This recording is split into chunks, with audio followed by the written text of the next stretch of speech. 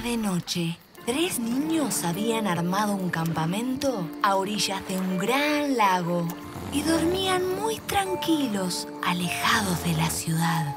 De pronto comenzó a burbujear el agua y asomaron dos enormes ojos de pez. Era el monstruo de la laguna negra. Mitad hombre,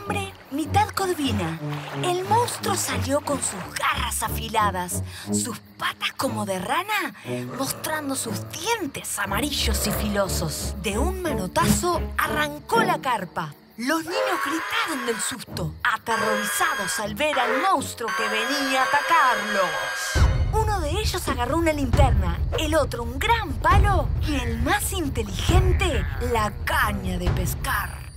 Al otro día, los niños almorzaron corvina a las brasas.